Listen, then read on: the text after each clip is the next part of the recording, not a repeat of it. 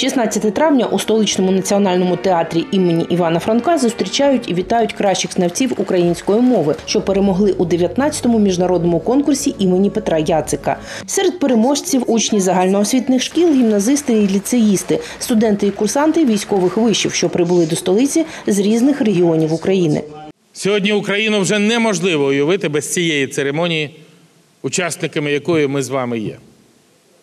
І без того, щоб щороку сотні тисяч школярів і студентів, в тому числі і далеко за межами нашої держави, брали участь в події, яка носить ім'я видатної людини, мецената, українця з великої літери Петра Яцика, який, якщо так можна сказати, інвестував в найдорожче в українську науку, в українську культуру, в розвиток української мови. 19 років вже проводиться конкурс. 19 років це життя цілого покоління. І за цей час участь в ньому брали більше 15 мільйонів молодих українців. І не лише українців. Я вітаю всіх вас, переможці, бо ви є прикладом, прикладом для однолітків в першу чергу, але й ширше. Ви прикладом є для всіх громадян, всіх громадян України щодо того, як треба володіти українською мовою. І не лише володіти. Ви демонструєте, як її треба любити. За день до того Україна отримала мовний закон і разом із ним сподівання на нову еру розвитку нації. Жити чи служити це у першу чергу про вибір мови. І від того, чи збережемо ми нині цей скарб самоідентифікації, чи втратимо його, залежить і подальша доля самої держави, упевнений президент Порошенко. Ось що про це сказав Олекса Тихий, український герой, дисидент, замордований радянською системою, теж уродженець українського Донбасу. Мова одна із основних ознак нації. Мова є фундаментом культури. Рідна мова найдорожчий скарб народу. Рідна мова підвалена інтелекту. Рідна мова це є основа патріотизму. Рідну мову повинна берегти, повинна розвивати кожна людина. Умирає мова, умирає культура. Умирає культура, припиниться прогрес. І історію починають творити Нерони, Бісмарки, Муссоліні, Гітлери, Сталіни. Але я сподіваюся, що за допомогою нового закону і тих результатів, яких вже добилися ми за останні роки, ми зараз вже проходимо той Рубікон, проходимо точку неповернення. І мова, наша українська мова була, є і буде.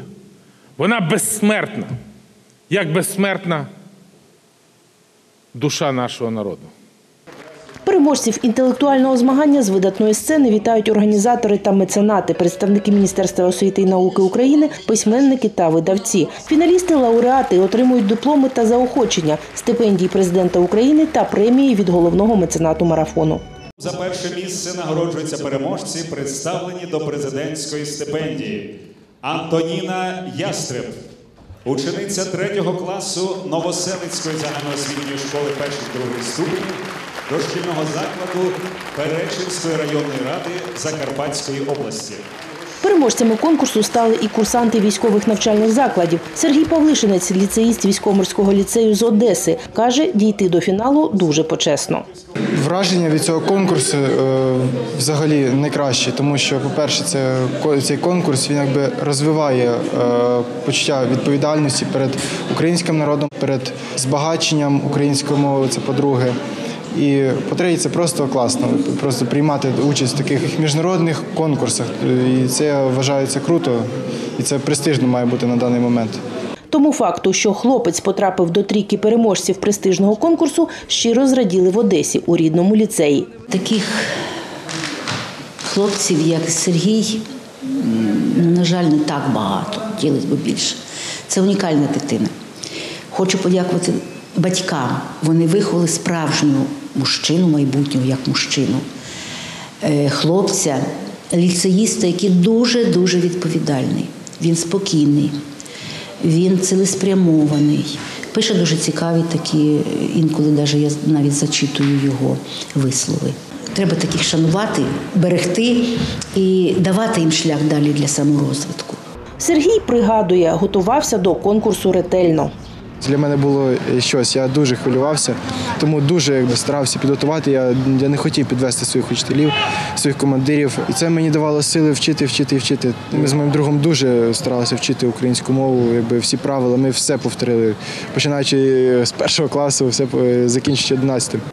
Щороку, 9 листопада, у День української писемності, разом з мільйонами інших українських школярів, учнями профтехосвіти, студентами та курсантами, ліцеїсти Одеського військово-морського ліцею беруть участь в патріотичному мовному марафоні, що проходить у декілька відбіркових етапів.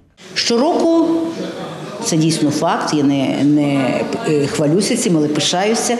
Наші ліцеїсти отримують перемоги. Призові місця займають перші, другі, треті.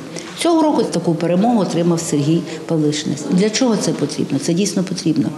Тому що діти, які цікавляться, які люблять українську мову, які її вдосконалюють, поповнюють свій мовний лексичний запас, збагачують своє мовлення, вони ще більше переконуються і самоутверджуються саме на таких конкурсах.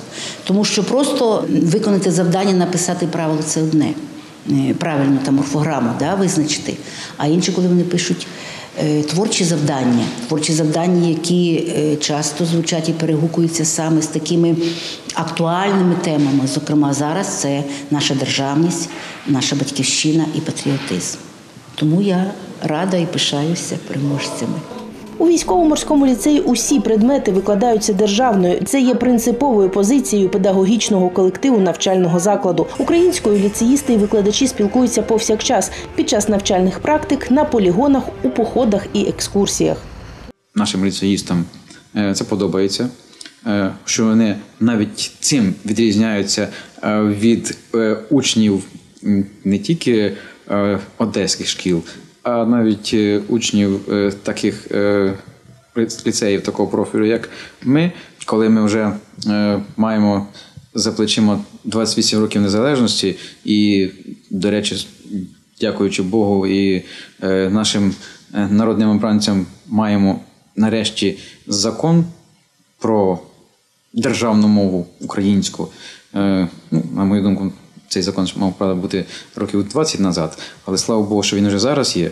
Е, і е, знання української мови незалежно від того, хто є житель України за національністю. Знання мови е, це уособлює людину як, українця, е, як людину державницьку. Якщо б мовна політика реалізувалась з пріоритетом захисту у першу чергу української мови в Україні, російської агресії не сталося б, говорять наставники Сергія. У нас на сході зараз йде бойові дії, йде війна з Росією. Те, що Росія напала на нас, уже це варте того, щоб ми вчили і спілкуватися тільки українською мовою, щоб нас ніхто не приходив е, російськомовних рятувати. В українському суспільстві дехто досі рефлексує за радянським минулим, чуттями єдиної родини і висловлює байдужість до рідної мови на користь одного язика. Тому кроки Верховної Ради України та п'ятого президента України військові освітяни оцінюють як внесок у майбутній мир в Україні. Зараз е, українська мова є е, ознакою держави. Нарешті вона набула того статусу, яка вона мала б бути. Якби 20 років назад українська мова набула статусу такого державного, то напевно і війни не було б. Не було б, е, було б усвідомлення кожним громадянином України того, що він є незалежно від національності українцем, і мова вона єднає всіх такого національної ідеї і державної ідеї. Нині Сергій, якому тільки но виповнилось 17, щиро не розуміє тих, хто, живучи в Україні все своє життя, не спромігся вивчити українську мову. Каже, йому у цьому дуже допомогла література. Так добре те, що смерті не боюсь я, і не питаю, чи тяжкий мій хрест, що перед вами судді не клонюся, в передчутті недовідомих верст, що жив, любив і не набрався скверни, ненависті, прокльону, каяття. Народи мій, до тебе я ще верну, і в смерті обернуся до життя, своїм стражденним і незлим обличчям, як син тобі доземну конюсь, і чесно гляну в чесні твої вічі, і в смерті з рідним краєм поріднюсь. Юнак на противагу героєві вірша Василя Стуса сповнений оптимізму і має власний рецепт боротьби за Україну. Він пропонує кожному просто полюбити землю, де живеш.